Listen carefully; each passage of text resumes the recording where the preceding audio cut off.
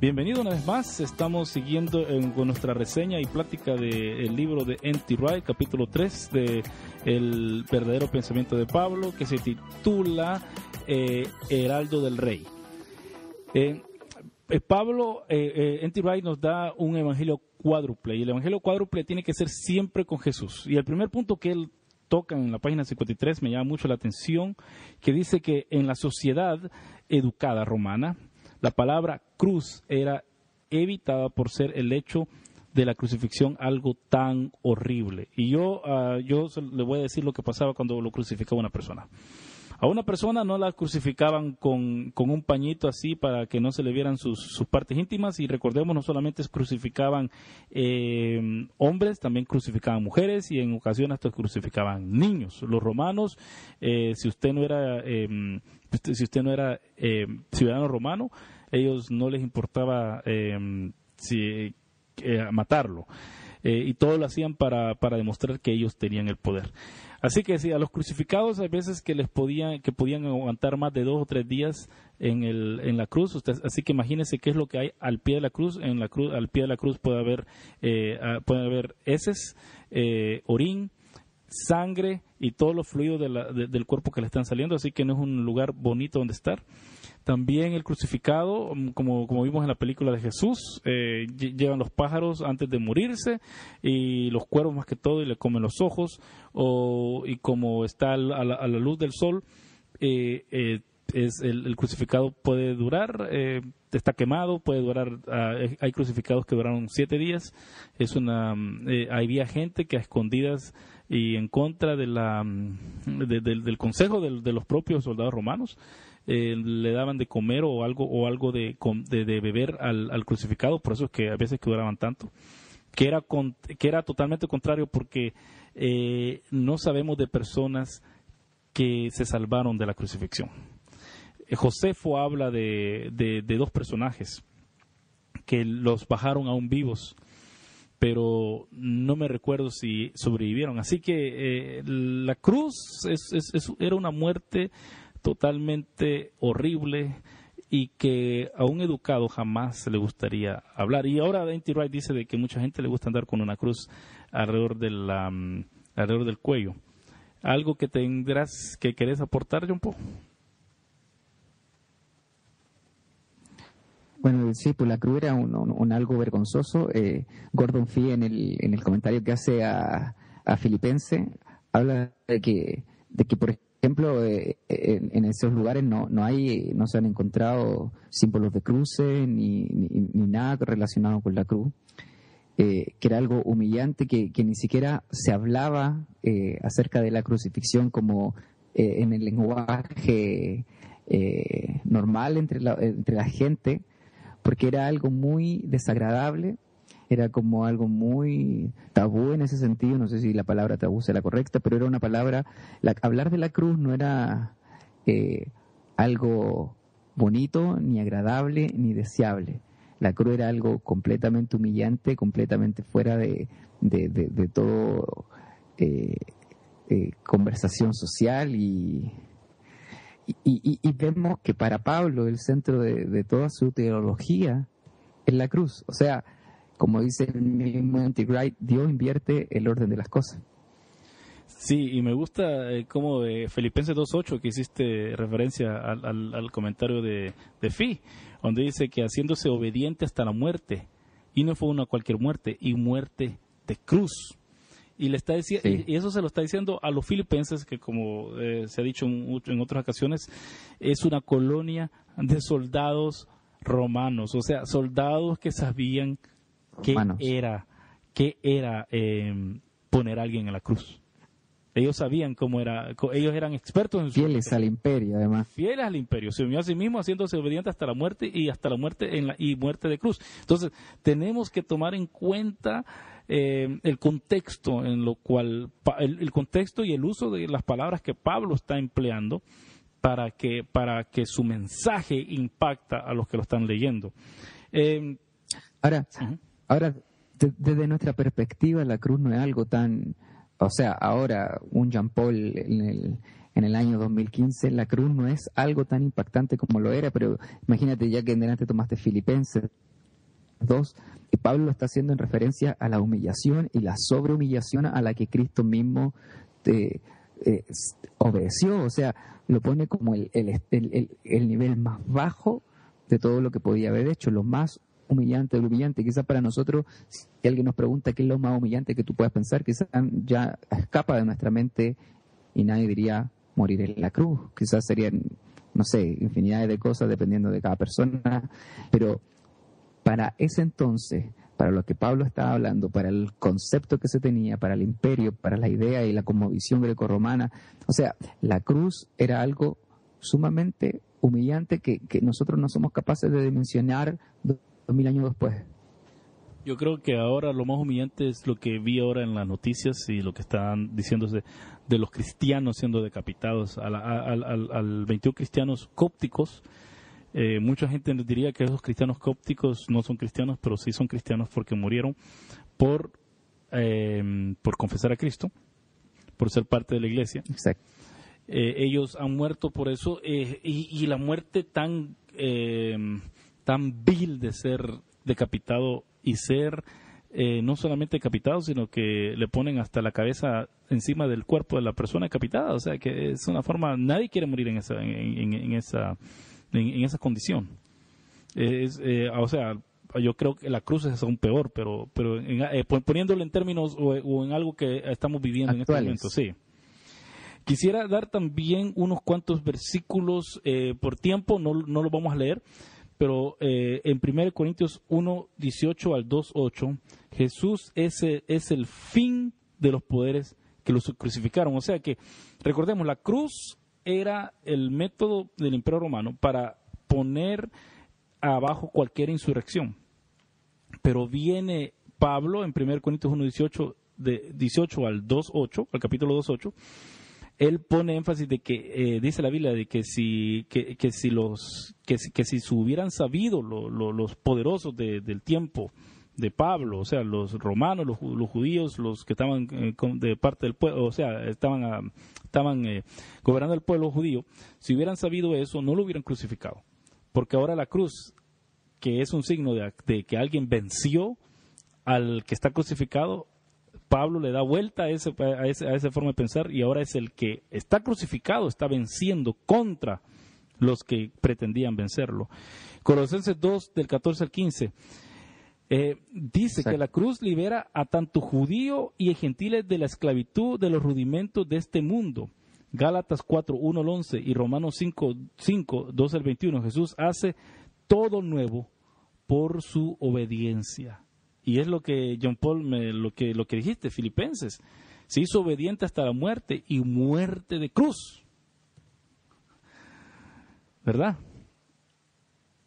Sí.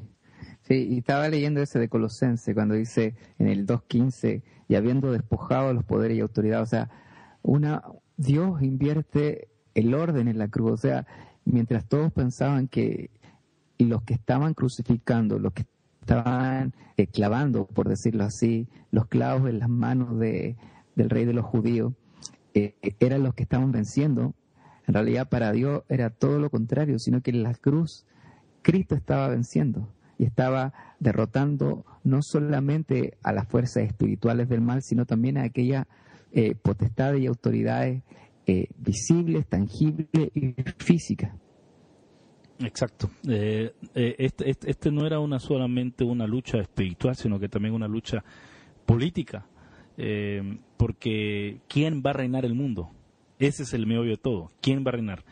el diablo lo va a reinar conforme a sus que bajo sus cosas que lo que podemos pensar es el nazismo el comunismo en, en sus muchas encarnaciones que millones y millones de personas murieron bajo él eh, el comunismo en Corea del Norte, por ejemplo, que, mata a tanto cristianos como a cualquier ciudadano que se, que se levanta en contra del sistema.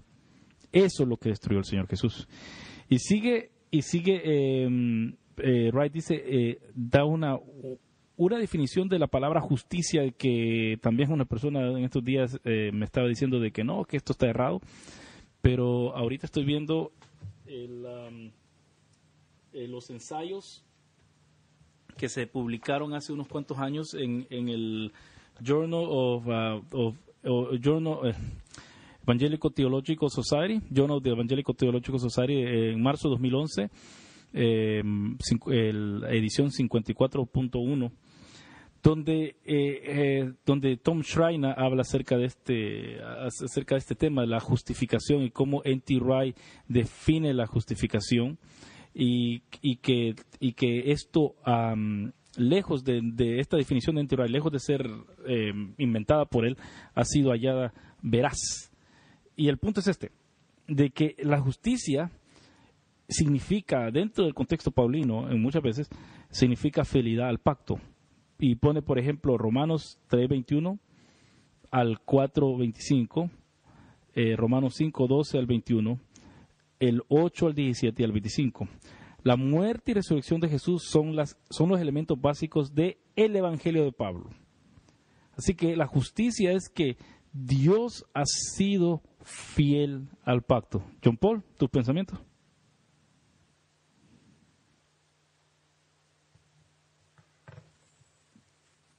Sí, sí, espérate que se me había trabado. Claro, Dios es fiel al pacto. Eh, y ahora, la, otra vez conversábamos acerca de eso, porque esa fidelidad al pacto conlleva dos cosas también. Conlleva que Él es fiel para cumplir sus promesas, como fiel para decretar eh, sus juicios. Porque recuerda que cada vez que Dios hacía una promesa, le ponía una condición y entonces decía, y si no hacen esto, les va a pasar esto otro. O sea, la fidelidad no tiene que ver solamente en el ambiente positivo, sino que también tiene que ver con lo otro. Y entonces muchas veces nos tomamos de la palabra justicia sencillamente en el sentido de, que Dios va a castigar la maldad. Pero Dios castiga la maldad porque es parte de su pacto también, pero también eh, bendice. Él es fiel al pacto. Exacto el próximo eh, punto del Evangelio cuádruple que Entirua está promoviendo es el Jesús resucitado. Y me gusta lo que él dice aquí. Bueno, yo también es la conclusión que tengo. 1 Corintios 15, 14, 14 y 17.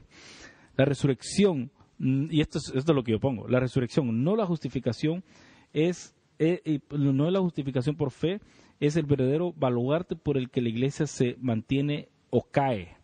Y aquí hablamos, hablamos cómo los luteranos... Eh, ahí le tiraste a los reformados. A los luteranos, a los luteranos reformados también y también a los reformados.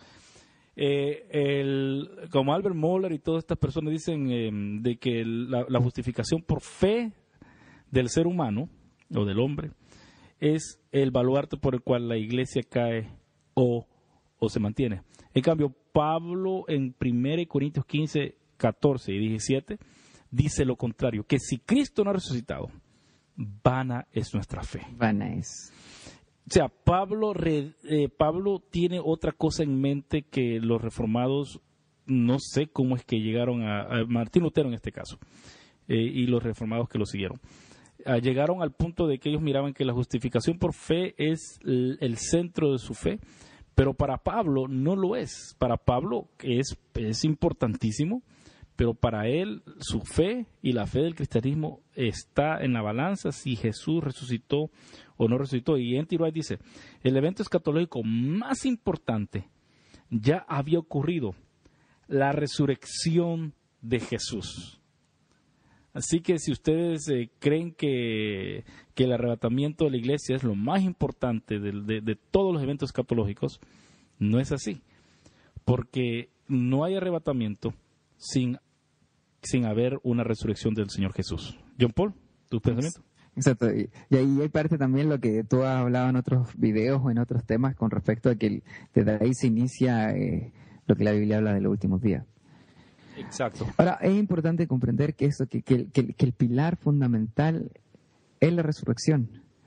Eh, y, yo creo que si tú hablas seriamente con, no sé, por ejemplo, yo escuché a Sproul hablando acerca de que el pilar era la justificación por la sola fe. Ahora yo creo que si tú hablas con cualquiera de ellos también no te podrán negar este punto. Ahora, una de las cosas que nombra Wright tiene que ver con, con esta figura de, la vuelta al exilio. O sea, con lo que hablábamos adelante acerca de esta idea que se tenía del Evangelio en el, en el ambiente judío, de que regresaran a su tierra, de, de la vuelta del lugar que no les correspondía. Y eso es lo que hace Jesucristo, que va al, lugar de la muerte, pero regresa de ese. No se queda en el exilio, sino que vuelve desde el exilio, en la resurrección. Eh, sí, él, él, estaba hablando de, lo que pasó en Ezequiel. Exacto. En Ezequiel, el, baile de los huesos suecos, el baile de los huesos secos ahí es. Ahora, todo esto va enlazado cuando estamos hablando de la cruz y que para Pablo es el centro de la teología y que de lo importante que es la cruz, porque a veces como, como, como evangélico, eh, hablar de la cruz es muy, muy, muy, muy, muy romano, muy católico. Entonces, de por sí ponemos el acento en la resurrección. Pero muchos, muchos judíos fueron crucificados, lo que marca la diferencia entre cualquier otro judío crucificado. Como decías tú que tenés ahí dos ejemplos de algunos que salieron vivos de la cruz, pero lo que marca la diferencia es la resurrección. Por eso Pablo en Hechos 17 cuando habla de la resurrección ya tampoco lo, los griegos tampoco le, le tomaron mucha atención. O sea, tan importante era la resurrección, es hasta el día de hoy, es sumamente importante. Y una de las cosas que más cuestionan es la veracidad de la resurrección. Exacto, eh, eh, en eso, en, eso se mantiene, porque ahí fue Jesús vindicado por, por, el Padre de que su sacrificio fue aceptado. Exacto. Y, una de las cosas importantes de, cuando tú leías Primera de Corintios 15, 14, que bien dice que si Cristo no ha resucitado, van a nuestra fe, pero también dice que van a nuestra predicación. Porque aquí volvemos al tema de que el Evangelio tiene que ver con Jesucristo y todo lo que él hizo. O sea, vimos en la primera parte de Jesucristo crucificado, pero, ahora estamos hablando de Jesucristo resucitado. Por eso en Hechos 17, eh, que ya lo he nombrado antes, Pablo habla acerca de, de, la resurrección. Era interesante porque la otra vez escuché a alguien, eh, no, recuerdo muy bien quién, que, que, él decía que, que, aquí Pablo se equivocó en Hechos 17. ¿Por qué se equivocó Pablo, según él? Porque no estaba hablando de la cruz, no habló acerca de la expiación del pecado, no habló a nada de eso. Pero Pablo en esto habla acerca de Dios, habla de Cristo, habla de quién es Cristo ya habla acerca de la resurrección. O sea, tenemos dos alternativas. O Pablo se equivocó, o nuestra concepción del Evangelio era lejana, o, no apuntaba directamente a la comprensión de la predicación del Evangelio de Pablo. Está defectuosa. Entonces, dos cosas. Para Pablo, la Sí. Para Pablo era importante la cruz, pero también era importante y fundamental la resurrección.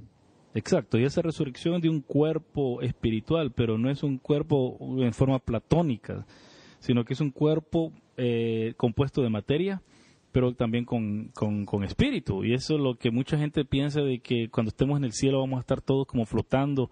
Y no, pues vamos a ser como Jesús. Jesús decía, pidió, tóquenme, eh, que, un, espíritu no tiene... Cuerpo glorificado. Sí, y es lo que los testigos va, eh, ahí hierran, que dicen que el cuerpo de Jesús está en algún lugar eh, en otro, eh, allá en el cielo puesto como ejemplo de la obediencia o, del sacrificio, pero lo que se le presentó a, los, a los discípulos era un fantasma y el mismo Jesús dice, yo no soy fantasma, yo soy, tóquenme. Esa era la, esa era la fe del, judaísmo del segundo, del segundo templo, de que ellos iban a resucitar. De hecho, Jesús claramente dice, tengo que un espíritu no tiene carne, o sea, no tiene eh, carne. Pero y, de hecho también en eso se equivocan. Eh, la otra vez te mostraba, conversábamos con respecto al, a los solo Jesús, los, pentecostales unicitarios, unitarios, no, no, sé cómo se llaman, que también dicen un poco eso, que toman un verso donde dice que la carne y la sangre no era dar al reino de los cielos. Entonces, para ellos su conclusión lógica es que Jesucristo no existe en carne ni sangre, sino que Jesucristo, su cuerpo, su funda, la funda de Dios, eh, quedó en la tumba y que él resucita de una forma celestial, haciendo esta referencia casi platónica donde el cuerpo es malo, pero el espíritu es lo bueno, pero Jesucristo mismo desmiente eso al, al, hacer que sus discípulos toquen su cuerpo. Es un cuerpo distinto, obviamente, no es como el que tenemos nosotros. Hoy. Traspasa paredes. Exacto, traspasa paredes. Es un cuerpo glorificado. A mí. Ahora, ¿qué tan, qué tan diferente. Yo me acuerdo cuando estuvimos viendo acá en la iglesia acerca del cuerpo glorificado, se preguntaban, bueno, ¿qué tan diferente es, va a ser? Vamos a tener, en tallas de broma, vamos a ser altos de ojos azules. O sea, el, el qué ¿no? es un misterio, pero Pablo dice que así como la semilla es plantada y sale, o sea, hay algo, hay algo que aún tiene. Eh, chistoso que los australianos quieren ser más morenitos y nosotros queremos ser más blancos. Parte de, el rubio quiere ser moreno, los crespos quieren ser lisos. Sí. Dice también una cosa que a mí me impacta mucho, según las, las escrituras, eh, e, esa frase, según las escrituras que dicen en, en, en 1 Corintios 15, 14, cuando habla acerca del Evangelio. No quiere decir textos específicos, dice T. Wright, eh, que Cristo murió y resucitó conforme a las escrituras. Pero la total narración de las escrituras, y pone ejemplo Ezequiel 37, el valle de los, de los, ah, huesos secos. Esto es una, esto introduce, y, no, y N.T. Wright reconoce que él no fue el primero que introduce esta forma de hablar, sino que el que la introdujo fue Richard Hayes. Y Richard Hayes es, enseña en Duke, allá en, Estados Unidos, en Duke Divinity School. Eh, él fue con su doctorado, fue el que introdujo este modo de pensar, porque aún yo he pasado por años y años diciendo, eh, cuando dice, porque Jesús eh, así también murió y resucitó conforme a las escrituras, y no hay un texto que diga que iba a pasar esto, no hay ninguno. Pero yo creo que esto que Richard Hayes introdujo y que N.T. Wright también habla, me ha ayudado a mí grandemente a, leer la Biblia. No sé, si, no sé si eso te llamó la atención a, vos, a John Paul. Eh, sí, pero sabes que hay gente que, bueno, no hay un verso específico que diga, pero sí hay gente que lo supone, por ejemplo, del mismo Isaías 53, cuando habla al final de que verá esto, supuestamente ya sufrió, ya tuvo todo el sufrimiento, la aflicción y la muerte y todo, y luego dice, y verá esto, o sea, como que como que da a suponer de que en, Isaías 53 hay algo de la resurrección, pero no lo dice eh, literalmente. Ahora, yo antes hablaba contigo, cuando estábamos en el receso, acerca de, lo que luego dice Wright, dice que la resurrección eh, de Cristo es la garantía de nuestra propia resurrección, pero que también es la garantía de la resurrección de todas las cosas, de la creación, como dice Romano, Romano 8. Eh, que la creación eh, será libertad de la esclavitud de la corrupción a la libertad gloriosa de los hijos de Dios. Y este es un punto que es tan importante entender de que la cruz y la resurrección no era solamente una obra que Dios estuviese haciendo con el hombre. O sea, donde, como hablamos delante, el hombre como centro de toda la, la obra de Dios, sino que están las cosas más allá del hombre implicadas. La misma creación va a ser eh, restaurada, va a ser liberada de esta corrupción por medio de lo que Jesucristo hizo en la cruz y por, medio de lo que pasó en la resurrección. Sí. Aquí ahorita tengo en mi mano ese libro de Richard B. Hayes, eh, eh, Ecos, está en inglés, pero lo traduzco, Ecos de escritura en las, en las cartas de Pablo. Y ahí es donde él, donde él propone, este, bueno, unos libros que él propone esta forma de leer la escritura que no tiene que haber un versículo y lo que dice un versículo específico que diga lo que para lo que como Pablo dice conforme a la escritura si Pablo dice que cuando cuando em, eh, no eh, N.T. Wright dice que cuando cuando vemos que Pablo hace una alusión a algún texto tenemos nosotros que seguir viendo eh, cómo lo ocupa para ir avanzando me gusta dice que ya lo he mencionado ya antes John Paul dice para Pablo el retorno de Jesús entre los muertos marcaba el fin, el exilio, su fin. Los dos últimos enemigos son la muerte y el pecado, según 1 Corintios 15, 25, 26, no son los imperios. Eh, y aquí es donde sí, donde muchos judíos, eh, esto, esto es una de las innovaciones paulinas de que, de que dentro del contexto judío no se esperaba que el pecado iba a ser derrotado, que sí, eh, el pecado em, em, personificado en el imperio. Pero, pero, pero aquí fue al revés, fue el pecado primero vencido y por medio de, esa, de, esa, de, ese triunfo en contra del pecado, eh, el, imperio iba a caer. Ese era el concepto que Pablo aparentemente tomó. John Paul. Sí. Eh, y, ahí lo enlaza también con, con el otro punto que, de este evangelio cuádruple de que Jesucristo es rey. Jesús había derrotado al mal en, la cruz y en la resurrección.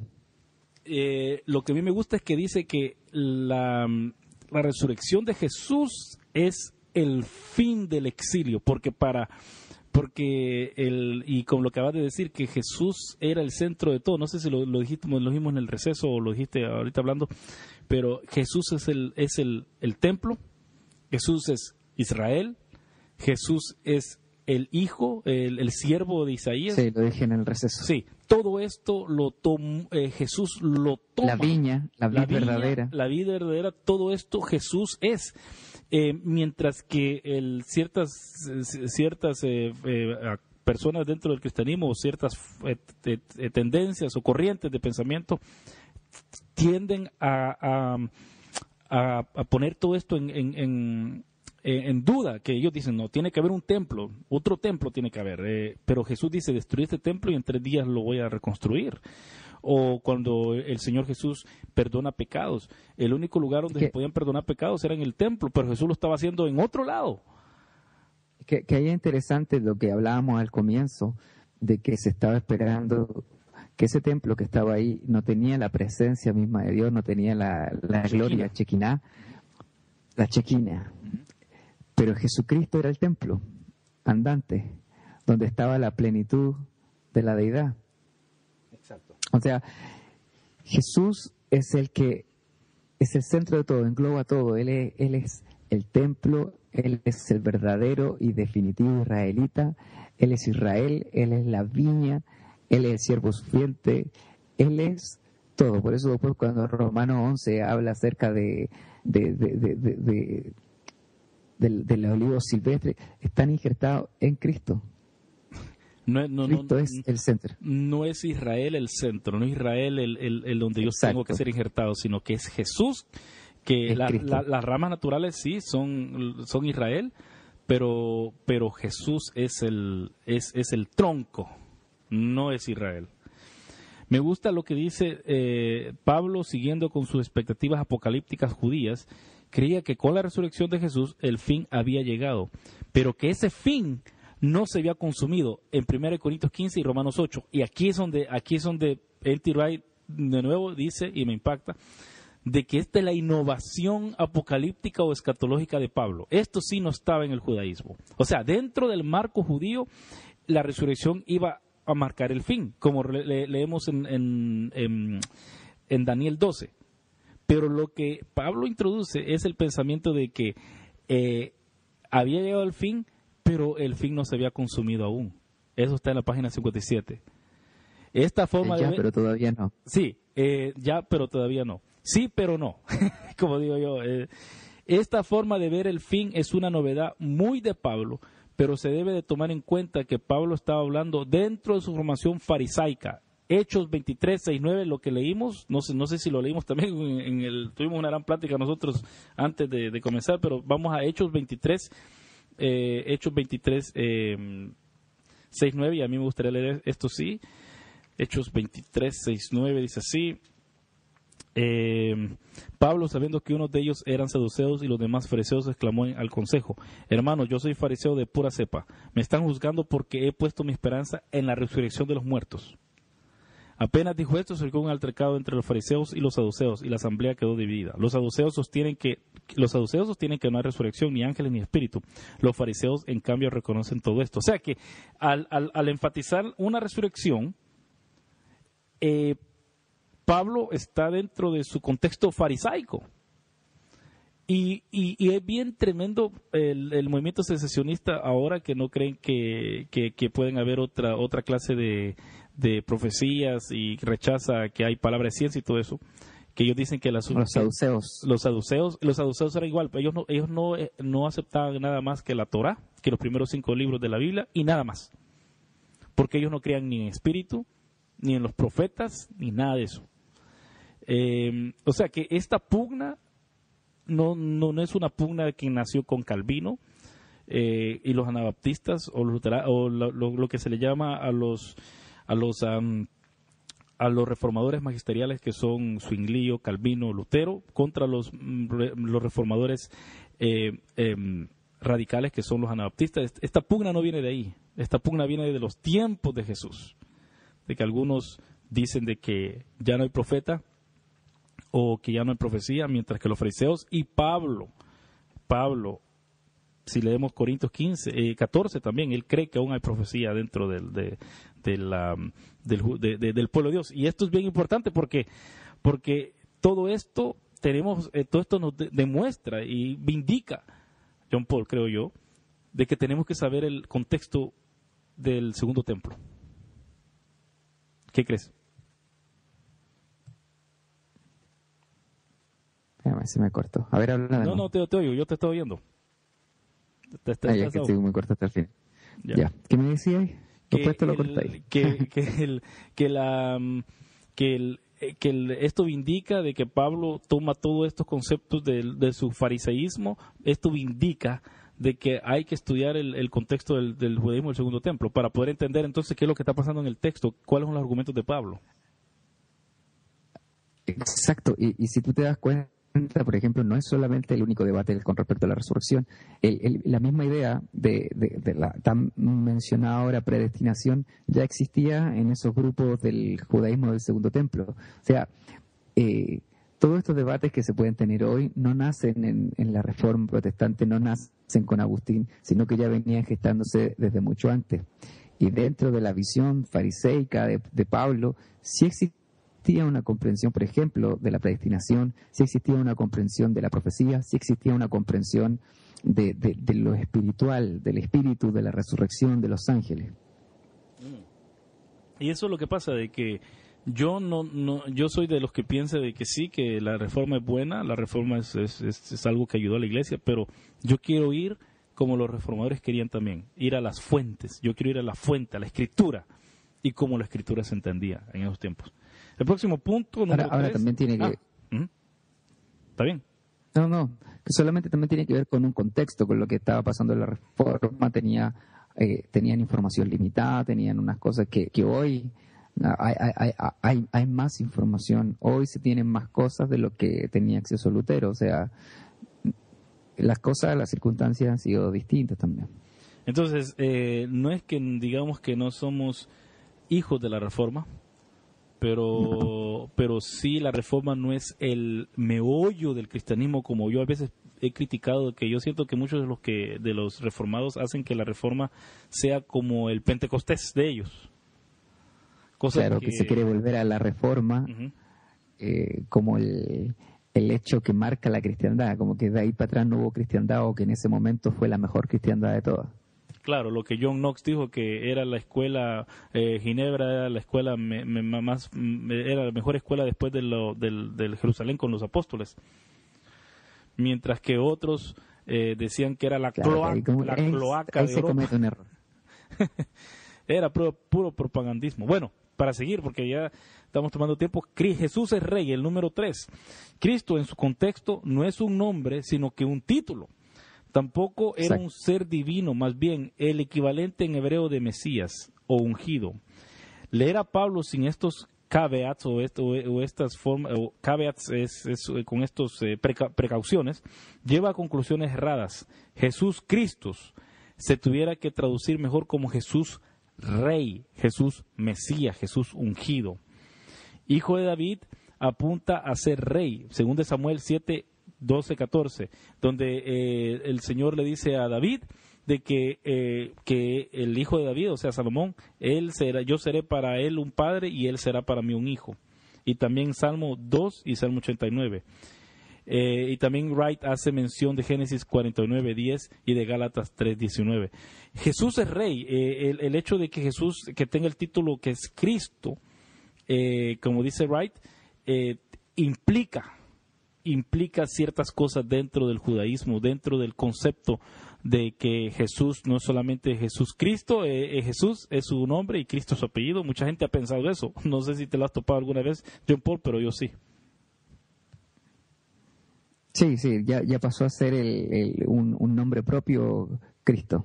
Exacto, y eso es lo que Tiroay quiere, quiere es una, eso también es algo corto de que él pone, él quiere eh, que Pablo no lo agarró como un nombre corto, con un nombre propio, sino que lo... No, o sea, que también tiene, tiene, tiene que ver con este anacronismo, con este anacronismo de lo que hemos hablábamos antes de comprender la cristiandad desde hoy, desde dos mil años después, y no comprenderla desde cuando no se tenía esta idea de, de Jesucristo como, como una palabra ya conocida por todos, sino que Pablo estaba injertando una idea, Cristo Jesús, Jesús Cristo, estaba poniendo ahí un énfasis en algo que hoy nosotros ya lo tenemos muy asimilado.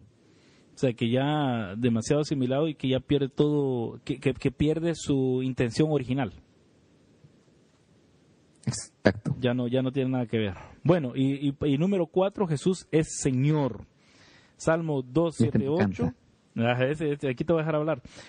Eh, Salmo 278, Salmo 72, 1, 8, Salmo 89, 20, 21, 26, 27, Romanos 10, 12, Gálatas 3, 28, Quirios, Señor, Hechos 17, 7 y Filipenses 2, 5, 11, que fue tu prédica, el Señor. Y yo quisiera leer Hechos 17, 7 para que todos vean por qué, cuando, cuando Pablo predicaba, por qué es que a él lo, lo culparon de, eh, de, de, predicar otro rey. Dice eh, Tesalónica eh, 17, 7 dice así. Eh, pero como, bueno, el 6, pero como no los encontraron, arrastraron a, Jasón y algunos otros hermanos ante las autoridades de la ciudad, gritando, estos que han, estos que han trastornado el mundo entero han venido también acá. Y Jasón lo ha recibido en su casa, refiriéndose a Pablo. Todos ellos actúan en contra de los decretos del emperador, afirmando que hay otro rey, uno que se llama Jesús. ¿Y por qué? Porque eh, Pablo predicaba al Señor, al Kyrie, o Kyrios, Jesús. John Paul. Entra. Exacto. Ahora, si tú te das cuenta, el, anterior tenía que ver con Jesucristo Rey, o sea, está haciendo una comprensión de que para los judíos era el rey de la nación, era el rey de, de, Israel. Pero luego, como dice Romanos 10:12, que no hay distinción entre judío y griego, pues el mismo Señor es Señor de todo. Es decir, que pasó los límites. Este Señor, este rey de Israel, ya no es solo rey de nosotros como nación, sino que ahora pasa a ser señor de todo el mundo. Sí. Y eso es un y eso lo que está haciendo es luchando directamente contra los dioses falsos. Por eso, si tú, bueno, tomaste ahí el, hecho 17, pero por eso también era tan complicado para ellos, porque se estaba hablando acerca de de, del verdadero Dios, del verdadero Rey, del verdadero Señor. Yo sé que vamos a ir un poquito más adelante eso, pero se estaba hablando acerca de eso, que ya, por ejemplo, el César que había sido, que había pasado a ser una figura de Dios, se le estaba apuntando directamente a él que él no era el verdadero Señor, sino que el verdadero Señor era Jesús. Que todos los demás dioses o todos los demás señores, todos los demás que pretendían gobernar eran falsos, mm. sino que solamente había un Señor un Kyrios, como decías tú, y ese era el Señor. Y, ahí podemos, no, no, lo toma aquí en T-Wright, pero es la referencia que, por ejemplo, como yo te decía, tomábamos Filipenses 2 cuando dice toda rodilla se doblará y toda lengua confesará que Jesucristo es el Señor, que es una referencia a Isaías 45, y donde Jesús eh, está en el mismo lugar que Yahweh, que Jehová mismo. O sea, era el Dios de los judíos, pero no solamente era para este pueblo circuncidado, sino que era para todo ahora. y ahí es donde es tan interesante esto de lo que retomábamos al principio, donde Pablo no es que haya abandonado su judaísmo, sino que es sencillamente el Mesías profetizado por el judaísmo, el Dios del monoteísmo judío, ahora era el Señor de todos, tanto de judíos como de gentiles. Eh, expande el concepto, o sea, lo, lo, expande más allá de, de, lo que, bueno, no, el judaísmo también en, los rollos del mar muerto, de, de Qumran, mejor dicho, eh, bueno, en Qumran, donde se encontraron los rollos del mar muerto, ahí también habla acerca de cómo el Dios de Israel iba a tomar eh, control de todo el mundo. Eh, y viene Pablo y, por lo visto que este pensamiento estaba ya presente dentro del judaísmo en, en, muchos en muchos otras eh, sectas o en muchos otros movimientos dentro del judaísmo. Y Pablo lo incorpora y lo hace y lo hace parte. Y como dijiste mucha gente dice de que ah entonces esto no es el Espíritu Santo ¿verdad? toda esta gente estaba buscando a Dios toda esta gente estaba viendo cómo Dios les hablaba. Y Pablo Dios lo Dios lo guió a, incluir esto, que es bien importante. Muestra el, a un Cristo cósmico, a un Cristo que no solamente está como en términos de ahora, no está eh, en las cuatro paredes de la iglesia y es lo que el mundo quiere hacer ahora que el mundo, el mundo quiere callar al cristianismo y lo quiere mantener simplemente en su iglesia y, o en su y hay veces no solamente en la iglesia sino que en su cabeza a cada cristiano. No puede proclamar a Jesús sí, como no, no. mete esas ideas a nosotros exacto eh, no me metas en cristianismo exacto y el, y el problema que tiene el mundo y que nosotros como cristianos debemos tomar conciencia de eso es que Jesús es el Señor no es que haya una probabilidad de que, de que aceptándolo o, entregando su vida a Cristo se va a ser el Señor. No, Jesús es el Señor. Dios ya lo vindicó y lo exaltó. O sea, es, no no hay nada. Lo que ahora lo que tiene que hacer la gente es reconocer el señorío de Jesucristo. Es como, por ejemplo, yo acá en Chile eh, tengo una presidenta, puede yo haber votado o no haber votado por ella, eh, pero no, no tiene que ver con que yo reconozca que mi presidenta para que sea mi presidenta, ella es la presidenta. O sea, Jesús es el Señor. Exacto, exacto. No, no, es el gusto nuestro, sino que es lo que Dios ha hecho en Jesús. Sí, exacto. Y, eso, por eso yo te decía que y esto es, esto es lo grandioso cuando, por ejemplo, yo, yo suelo predicar en las calles, proclamar a Jesucristo como el Señor, Señor sobre todas las cosas. Yo sé que más adelante en Tigray habla en otros capítulos, pero el Señor sobre todas las cosas, sobre todos los vicios, el Señor sobre, sobre los problemas que puedan tener económicos, el Señor sobre la sexualidad eh, eh, desvirtuada, el Señor sobre eh, las adicciones, el Señor sobre todo.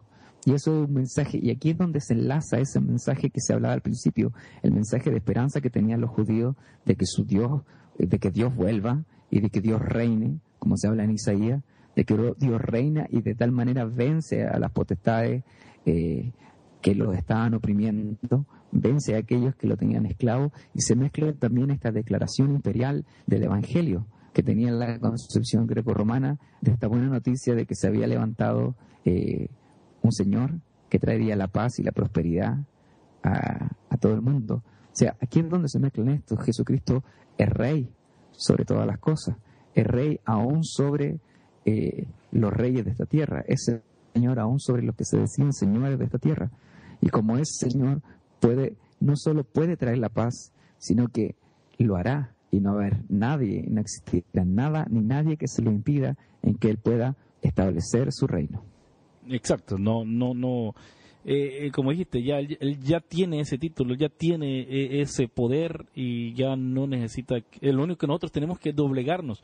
Toda rodilla se doblará y toda la confesará que Cristo es el Señor para gloria de Dios Padre. Y como dice la parábola de Lucas 19, y el que no lo quería como rey, pasen para acá, que le van a cortar la cabeza. Ah, y ahí sí va a ser la cortadera de cabeza, ahí sí, y y con razón, porque es el Dios verdadero el que va a estar haciéndolo. El último, el último, em, Exacto. Eh, el último segmento. Del, pasas al otro punto. Sí, el Evangelio de Dios. El Evangelio de Dios. Eh, el Gálatas 4, 1 al 11. Este es el Evangelio eh, este es el Evangelio. No podían dejar el verdadero Evangelio que cuando Pablo les habla a los Gálatas en la página 75 de N.T. Wright, eh, refiere a Gálatas 4.1.11 y también después dice eh, Gálatas 1.6.9, que cuando les reclama de que por qué han sido tan, tan fácilmente han sido llevados por otro Evangelio el Evangelio es lo, que, lo que Wright dice de que es la proclamación. Eh, y, a mí me gusta algo, algo que dice él, y es algo que mucha gente ahora eh, rechaza. Eh, quisiera leerlo porque él, él, lo tiene aquí, 4.11. El, no, lo leí en la Biblia. Entonces, o lo tenés vos, John Paul, no, no tenés la Biblia ahí, o lo tenemos que abrir. 4.11. Eh, Gálatas. Tengo la Biblia aquí. Gálatas 4 del, uno, del, del 1. El 11, ¿no? No, eh, el, no, pero del 1 en adelante. Ya. Tengo la Reina Valera, sí. Ya, ok. No hay problema. no, hay problema, no tengo la nueva versión internacional como a ti te gusta. Problema. No, no. Eh, 4 del 1 al 11 lo leo entonces. Sí, sí. Y vamos parando ahí. Dice, para... pero y ahí me va diciendo tú. Pero también digo, entre tanto que el heredero es niño, en nada difiere del esclavo, aunque es señor de todo, sino que está bajo tutores y curadores hasta el tiempo señalado por el Padre. Así también nosotros, cuando éramos niños, estábamos en esclavitud bajo los rudimentos del mundo. Y aquí está hablando de la esclavitud, Pero- eh, de la claro. esclavitud tanto de, de los gentiles como de los judíos, no solamente de uno. Ju- Ok, sigamos. Pero cuando vino el cumplimiento del tiempo, Dios envió a su Hijo, nacido de mujer y nacido bajo la ley, para que eh, redimiese eh, a los eh, que estaban Esto es bien interesante, pero cuando se cumplió el plazo, el plazo Dios envió a su hijo nacido de una mujer. Aquellos liberales y aquellos que objetan que Pablo nunca habló de acerca del Jesús histórico, aquí está una prueba que sí. Que Pablo sabía que había nacido una mujer. Nacido bajo la ley. y nacido bajo la ley. Cinco. Nacido bajo la ley. Y ahora el 5, para que redimiese a los que estaban bajo la ley, a fin de que recibiésemos la adopción de hijos. Eh, es- eh, ¿Y por es- sois? Esto es, esto es bien tremendo porque lo que estás leyendo, John Paul, estaban bajo la ley a fin de que fuéramos adoptados como hijos. O sea que, que aún eh, los, los judíos se creían que eran hijos de Dios, eran el pueblo de Dios. Pero Por dice, derecho. Por derecho. Y viene, y viene Pablo aquí y le dice, y, y después vuelve a hacer el mismo argumento después acerca de Agar y Sara. Y pone a los judíos como Agar y a los hijos de la promesa como... Exacto. O sea que ya de aquí empieza el argumento y Pablo es bien sutil en su forma como él está haciendo su argumento, porque está diciendo de que los judíos que estaban, que estaban ellos, estaban, eh, en- no eran hijos de Dios, recatar a los que estaban bajo la ley, a fin de que fueran adoptados como hijos. Seis. Y seis, Y por cuanto sois hijos, Dios envió a vuestros corazones el espíritu de su Hijo, el cual clama, Abba, Padre. Así que ya no eres esclavo, sino hijo, y si hijo también heredero de Dios por medio de Cristo. entonces, entonces Dios envía a su hijo y por medio de, de- de enviar a su hijo también recibimos el Espíritu Santo, dice Wright. Es parte del paquete. Y del 8 al Exacto. 11. Ciertamente, en otro tiempo, no conociendo a Dios, servíais a los que por naturaleza no son dioses. Mas ahora, conociendo a Dios, o más bien siendo conocido por Dios, ¿cómo es que os volvéis de nuevo a los débiles y pobres rudimentos a los cuales os queréis volver a esclavizar? Guardáis los días, los meses, los tiempos y los años.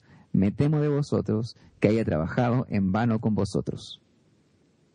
Entonces, el Evangelio es conocer a Dios y ser, ya no Exacto. ser esclavo a los dioses. Y eso es lo que John Paul está diciendo. Y aquí vamos ya terminando, pero es, ¿qué clase de dioses tenemos nosotros que, ten- que estamos bajo la esclavitud?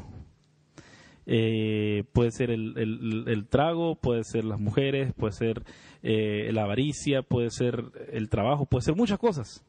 El dinero, El dinero, pornografía. pornografía puede ser eh, X cosa. Y Dios se proclama como Señor. Y Dios, esos son dioses vanos, son dioses falsos. falsos. Y viene Jesús y nos liberta por, porque tenemos el Espíritu Santo. El verdadero Dios se daba a conocer en Cristo. Entonces, eh, porque ahora nosotros no tenemos dioses ah, falsos que vamos a adorar, pero sí podemos tener eh, eh, ciertos dioses que, que ídolos en nuestros corazones. Y viene en Tiruá, dice, eh, yo pongo Hechos 19, no conviene predicar lo contrario. ¿Por qué? Porque ustedes se acuerdan en Hechos 19, los que estaban haciendo eh, los pequeños ídolos de la diosa Diana, por eso, por, eso se, se quejaron. Porque ellos querían Sí, seguir haciendo se le acaba el negocio. Y yo hay veces, John Paul, y aquí voy a ser bien controversial, a veces porque es que mucho, eh, ya ahora ya no tanto, pero porque hubo una gran, un, gran rechazo a la nueva perspectiva de Pablo. eh, y también, ¿por qué no decirlo? Porque hubo un gran rechazo en contra de la reforma en los primeros años. Porque se les acaba, a alguien se le acaba el negocio. A alguien se le estaba acabando el negocio. Al decir, si en un pueblo llega un predicador y en ese pueblo es un alto, alto grado de- de- borrachos, y decir que Jesús es el Señor y que no tiene que estar bajo ese eh, ba- bajo eso eso va a tener un impacto eso va a tener un impacto Eh, eh, no solamente eh, económico sino que también familiar espiritual todo eso es el Social poder- y todo. social ese es el poder del evangelio y por último la proclamación del evangelio no solo es no solo es pasar información es también lo práctico la obediencia Sí. al mensaje del Evangelio. Por eso el cristiano no puede ser eh, eh, falso, no puede ser, tiene que ser con, congruente con lo que él vive. Y aquí, y, y, y, John Paul, estamos terminando con lo que empezamos. Exacto. Vocación y conversión. tenemos que si, si, nosotros decimos que seguimos al Señor tenemos que cambiar nuestra vocación nuestra nuestra conversión tiene un tanto un impacto tan fuerte que nuestra vocación ya no es si, si el policía eh, lo hacía para, eh, para, para robar o para, para quitar dinero. No, eh, ahora el policía va en su vocación de policía o de maestro, lo que sea, ya es otra, de músico, en este caso, Tiene que afectar todas las áreas. Tiene que afectar. Últimos pensamientos entonces, John Paul. Todas las áreas. Eh, eso, dejarlo en eso, de que comprender esto del Evangelio, que el centro es Jesús, que nosotros proclamamos a Jesús y que como respuesta a esto viene toda la pregunta de la gente de cómo convertirse, pero el centro de nuestra predicación debe ser Jesús. Jesús como Señor, Jesús como Rey, Jesús como Dios sobre todos los otros dioses, Dios vindicando a Jesucristo. O sea, el centro de todo debe ser necesariamente Jesús. Y lo que nos une como cristianos es Jesús, aún con todas las diferencias, como cristianos somos unidos por la figura de Jesús, de Cristo, el Evangelio de Jesús. Bueno, muchas gracias entonces por oírnos aquí a John Paul y a, mí. Es un, es, es, un, fue un capítulo de 20 páginas, eh, pero como pudieron ver, no solamente son que estamos repitiendo o regurgitando lo que Entiro está diciendo, sino que también tratamos de, de, contextualizar esto al, al día de hoy y también reflexionando cómo que esto eh, eh, pega a la, reflexión teológica del día de hoy. Y queremos aportar algo nosotros eh, por medio de, estas reseñas a este libro el, verdadero pensamiento de Pablo. Así que muy muy muy buenos días o tardes o noches acá allá donde ustedes estén. John Paul para él es ya es madrugada para mí es noche eh, pero es un gusto para nosotros eh, poder eh, poner, exponer estos pensamientos a ustedes para que ustedes sean edificados. Así que Dios les bendiga desde Australia, John Paul. Dios les bendiga desde acá, desde Chile. Desde Chile. ¿En qué parte de Chile estás? ¿En Santiago? Santiago, Santiago una Independencia. Independencia. Bueno, yo estoy aquí en, en, la ciudad de, de que es uno de los suburbios de los últimos suburbios de la gran ciudad de Melbourne, aquí en, el estado de Victoria, Australia. Así que Dios les bendiga y hasta la próxima. Este, esperamos hacer esto semanalmente y esperamos que lo siga usted en el próximo, la próxima reseña del libro de Tiray, que va a ser el capítulo 4, que es Pablo y Jesús. Así que vamos a ver si Pablo en realidad eh, fundó una religión muy aparte de Jesús o como acabamos de ver en Gálatas, Pablo estaba muy sabido de un Jesús histórico. Que Dios le bendiga y hasta la próxima.